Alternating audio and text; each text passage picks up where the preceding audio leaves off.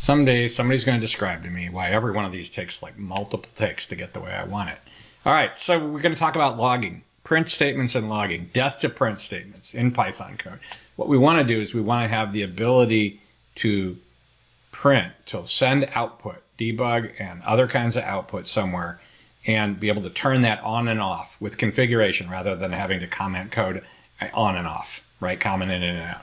So what we're going to do is we're going to use the Python logging subsystem. This is a standard part. You can see great tutorials on it everywhere. I'm going to talk about it in some depth, but the main thing we're going to do here is show some code and uh, provide sample code to make this work. So basically what happens is you replace all the print statements with logger statements. And we instantiate, uh, we create a logger in every Python file. And we do that so that because we can actually change the amount of output that comes out of each file.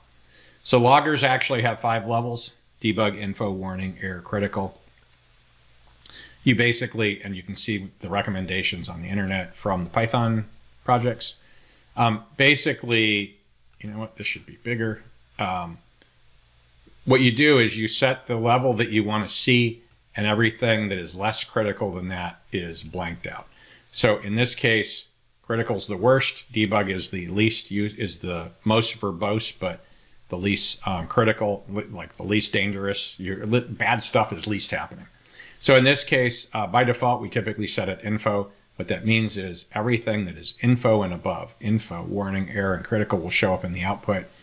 Uh, and we turn, and since we set it at info, nothing that comes with a log.debug will show up. That's the default settings for most people. In this case, uh, although sometimes it's at the warning level, in this case, what I'm going to do is I have info and log and debug statements. The debugs are used for me to debug stuff like what's happening. And so what I did was um, I actually, the logger actually lets you plug in multiple handlers, basically things that decide if the output's going to be sent out. So I have one handler in my program that actually goes for error and above. It only gets things that are errors and critical. And I have another handler that takes everything that's debug and above. So that file will have all the output that's generated.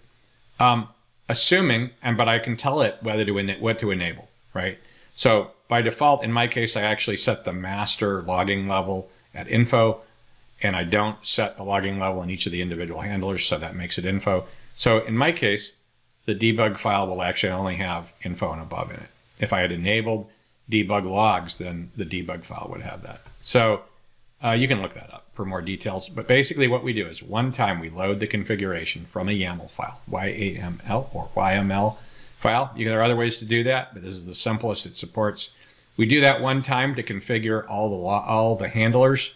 And then in each file that you want to log in, each Python file, you create a logger and that logger will automatically get configured with the right handlers based on what was in the YAML file.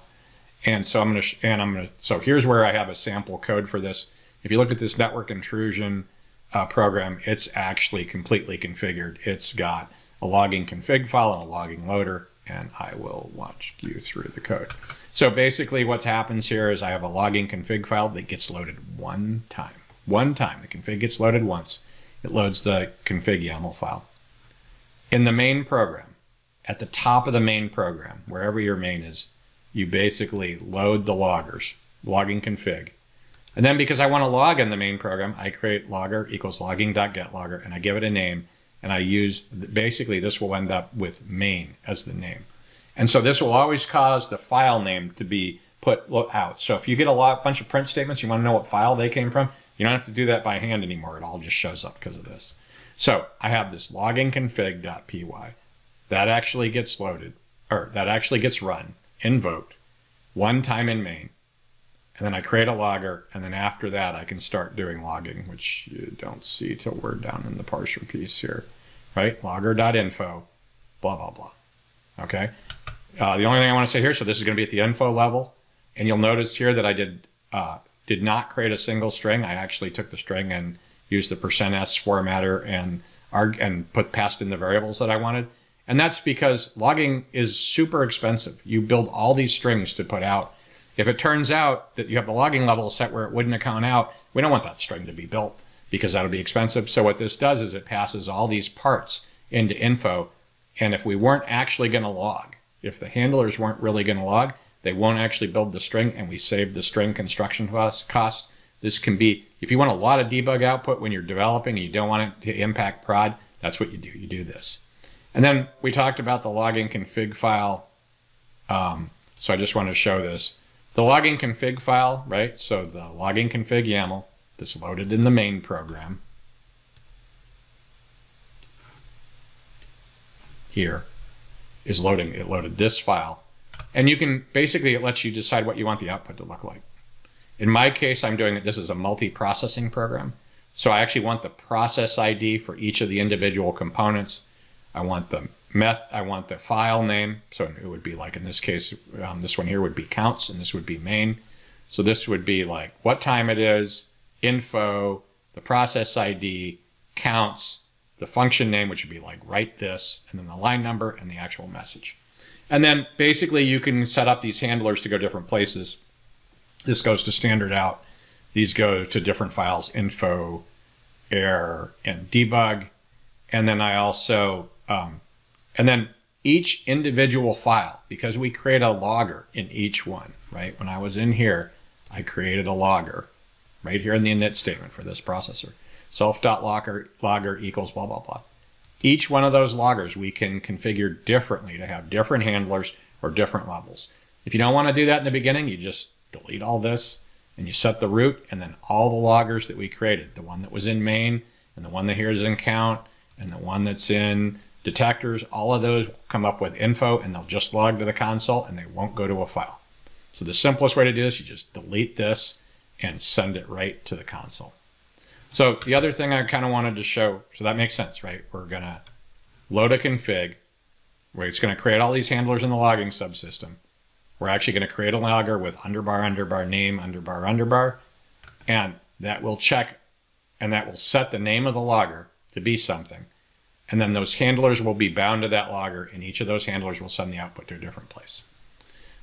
So, uh, so we looked at that here. In this case, I couldn't make up my mind. I got all detail oriented because I'm an overachiever when you don't need it. Um, but what you want to do is look at this logging config file. And in this case, I have three output files in the console. Probably in the beginning, all you really need is standard out. But if you're building a production process and you want the logs to go somewhere, then you'll want log output, right? So the only other thing I want to show here is kind of what the log output looks like. So in this case, I did the multi-processing one, right? And what I said was we have the time, we have the logging level, the process ID, the file it came from, the function we're in, the line number, and the message. I gotta fix this message. But you can see here that when all my multi-processors started up, right? So I have detector services, counts, and capture are the four processors for this multi-processing app. You can see that they all have different process IDs here and that these are the files they were in and that was the run method that basically when it started up, that's what we saw. And then if we come down here, I'm going to type this offline.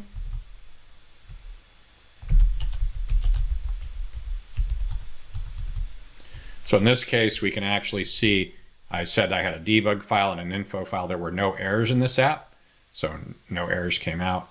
Um, and you can see here that we the info logs captured info, some info messages, and the debug logs actually, what did the debug log catch?